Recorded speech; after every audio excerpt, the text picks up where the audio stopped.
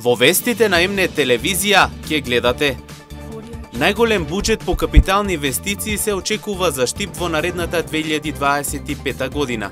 Носечки проекти ќе бидат предлозите од страна на граѓаните, а буџетот треба да биде готов од средината на месец декември.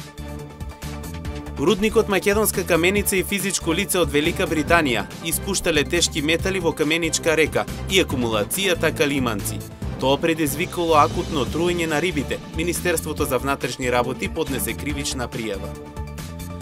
Со низа настани преку целата година, Обштина Штип постојано води грижа за почитувањето на правата на децата согласно конвенцијата.